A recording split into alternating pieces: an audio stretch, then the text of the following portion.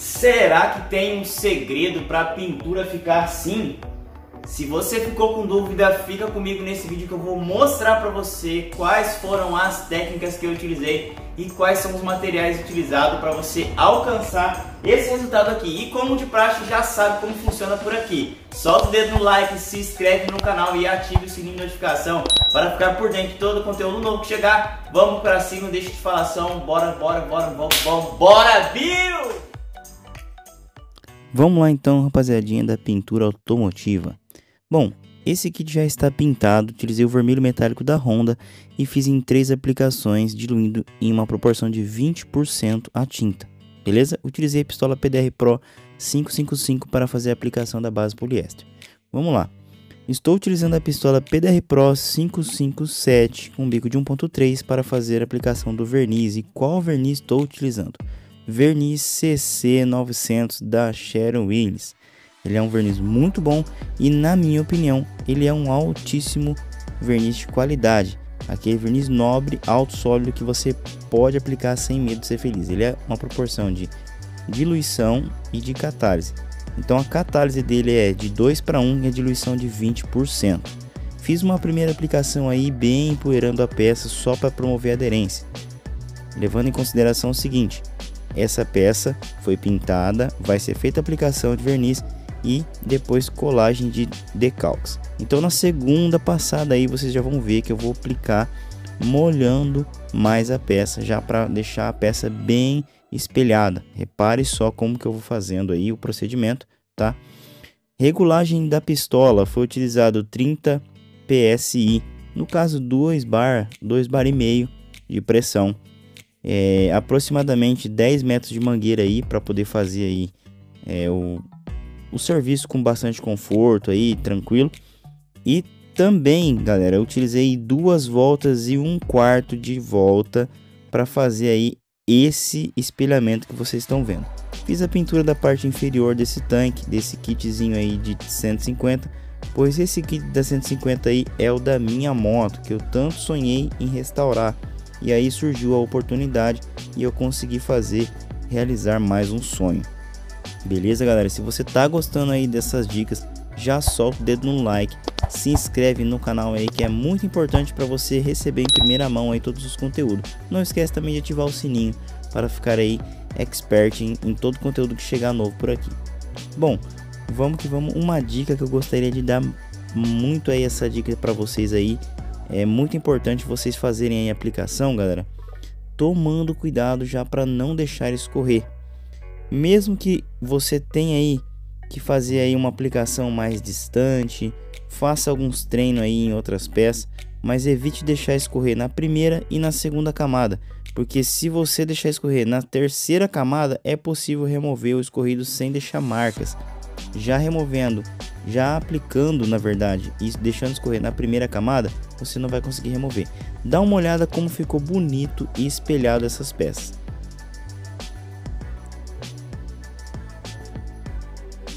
Já então feito a colagem do decalque, utilizei todos os decalques originais comprados diretamente na concessionária Honda e olha só, vem aplicando do mesmo modo. Faço a primeira aplicação empoeirando a peça para não dar arrepiamento no adesivo. Para não dar cratera, muito menos olho de peixe, eu faço desse jeito há mais de 8 anos e tem dado certo. Vou fazendo então todas as peças empoeirando ali está promovendo também a aderência para o verniz, tá? Eu lixei essas peças antes de colar o adesivo com a lixa 1500 da 3M. Para quem gosta aí de qualidade, 3M está oferecendo e de sobra. Vamos que vamos então, olha só como já vem fazendo todos os detalhezinhos com bastante carinho, bastante capricho. Claro que eu esperei um tempo de dois dias, tá? No caso 48 horas para poder lixar a peça colar o decalque a seco, tá galera? Decalque original, colhe a seco que vai melhor. Olha só agora, segunda camada, vou aplicar já molhando a peça, fazendo aquele brilho aparecer. E eu já venho utilizando a técnica de uma passada um pouquinho mais lenta e mais próxima, levando em consideração a distância mínima que é de 15 a 30 centímetros de distância da peça. Então, galera, não passe muito próximo porque vai realmente escorrer e ninguém quer um escorrido chato ali na pintura. Bom, esse tanque aí já está ficando magnífico. Se vocês olharem depois no vídeo, quase não dá para perceber a emenda da tinta com a emendinha do verniz ali que é na tonalidade da cor da moto.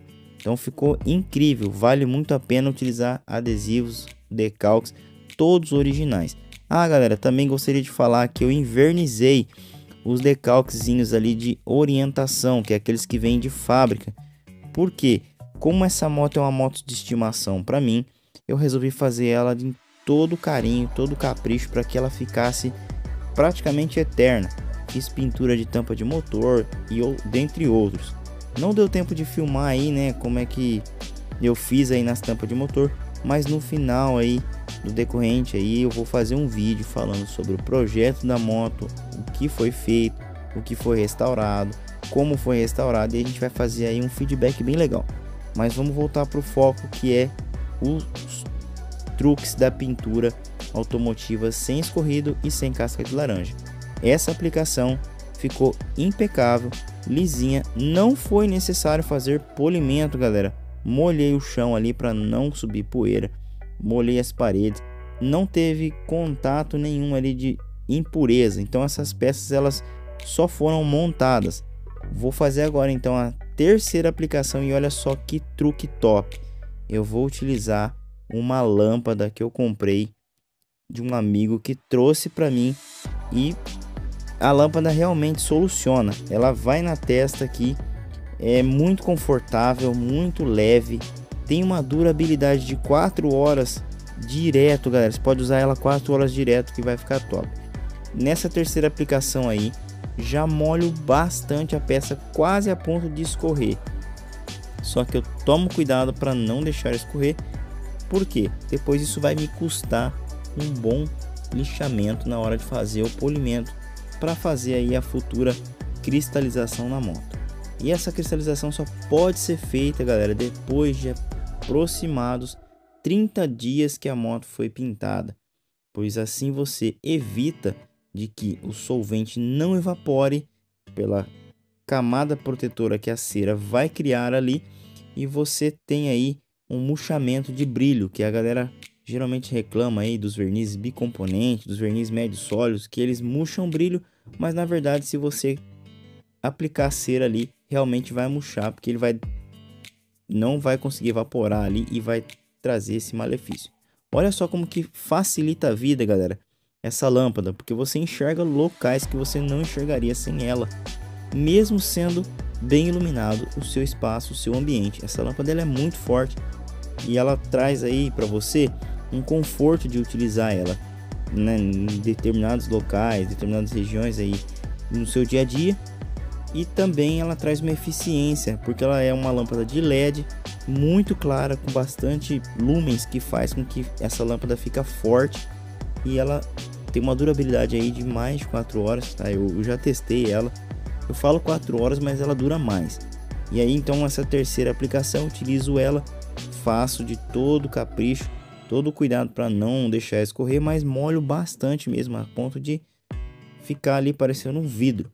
E vocês vão ver agora o resultado. E por hoje é isso. Fiquem com Deus e com o resultado que vocês vão ver. Até a próxima.